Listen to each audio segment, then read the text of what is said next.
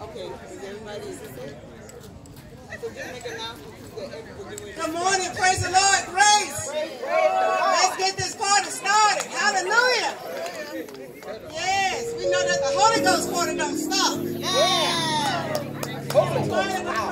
Welcome, you guys.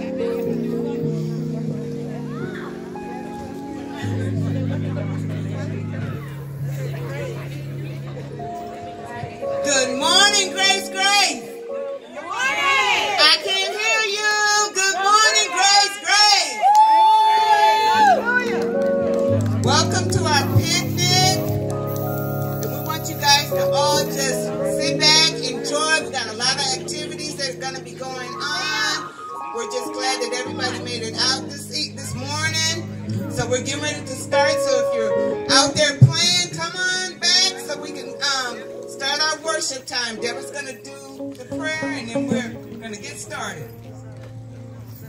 I'm going to do the prayer. Can you bow your heads, please? Father, bless our annual church picnic for 2022. We thank you for Chaplain Gladden for making this event happen for Grace Gospel and our community. Bless, protect, lead, and guide him and his family as they continue to lead us to higher growth in you, Lord. We thank you again for an awesome and excellent revival that was full of your presence. Our lives would never be the same. And we thank you in advance for opening doors for more revivals. Father, your word says you are able to do exceedingly and abundantly above all that we ask or think, according to the power that works took the time in preparation for making our fellowship a success in Jesus' name. Father, bless our chaplain leaders, our ministers, volunteers from the music and women's ministry, praise and worship and the ushers ministry, praise dance ministry, hospitality, and the men's ministry, to include our youth ministry, family, and friends who are here with us today. Allow the community to experience your presence through our amazing choir. Speaker of the hour, Chaplain Moss, and every communication we are blessed to do today. Father, give us peace in every area of our lives, knowing you are in total control. We collectively come against anything that exalts itself against the knowledge of Jesus Christ. Because we, when two or more is gathered in your name, we have what we say we have in Jesus' name. Give us desire to fellowship like never before, Lord. Holy Spirit, we welcome you here in this place. Making us all, make all the crooked places straight in our lives, Lord. You know all about it. We thank you for receiving all our cares and concerns because you care for us and you will never leave us nor forsake us. Father, thank you for every opportunity to love and serve one another, exemplifying your love that covers a multitude of sin. Keep us safe from any unknown mishaps and unforeseen circumstances today that could limit us from experiencing a wonderful day in fellowship. And everybody say, Amen. Praise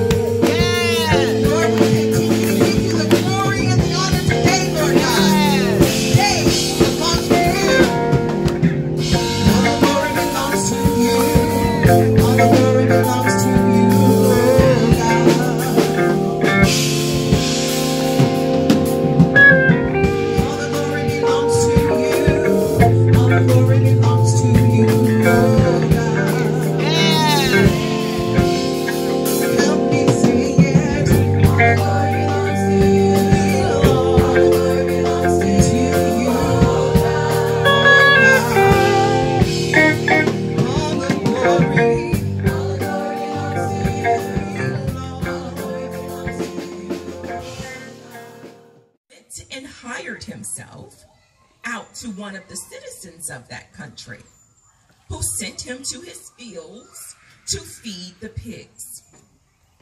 He would gladly have filled himself with the pods that the pigs were eating, and no one gave him anything. But when he came to himself, he said, "Hmm, How many of my father's hired hands have bread enough and to spare? But here I am dying of hunger.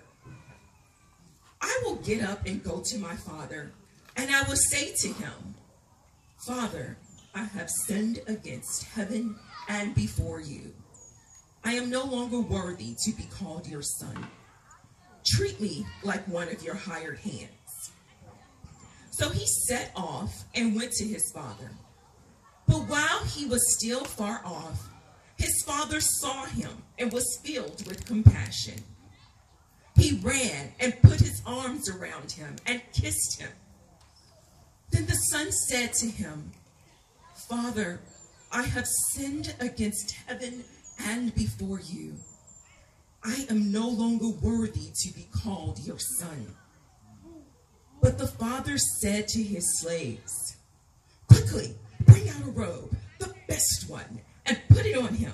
Put a ring on his finger and sandals on his feet. And get that fatted calf and kill it, and let us eat and celebrate. For this son of mine was dead and is alive again. He was lost and is found, and they began to celebrate. Now, his elder son was in the field, and when he came and approached the house, he heard music and dancing. He called one of the slaves and asked, What was going on? He replied, Your brother has come, and your father has killed the fatted calf because he has got him back safe and sound. Then he became angry and refused to go in. His father came out and began to plead with him. But he answered his father, Listen, for all these years I have been working like a slave for you, and I have never disobeyed your command. Yet you have never given me even a young goat so that I might celebrate with my friends. But when this son of yours came back, who has devoured your property with prostitutes, you killed the fatted calf for him? Then the father said to him, Son, you are always with me, and all that is mine is yours. But we had to celebrate and rejoice because this brother of yours was dead and has come to life. He was lost and has been found. The word of God. Amen. Blessed be the name of the Lord.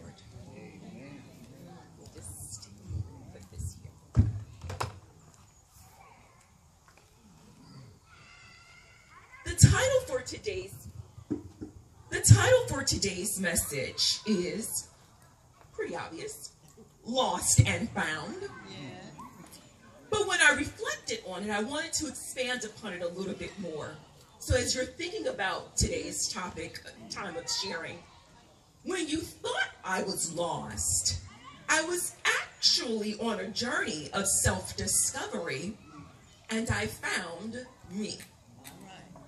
Oftentimes we hear the story of the prodigal son, and the, the, the wayward child is assumed to be this just low life that had the audacity to step out of the reins of which he was given for his family's culture and community and things of that nature. So of course you want to tell to that child, no, no.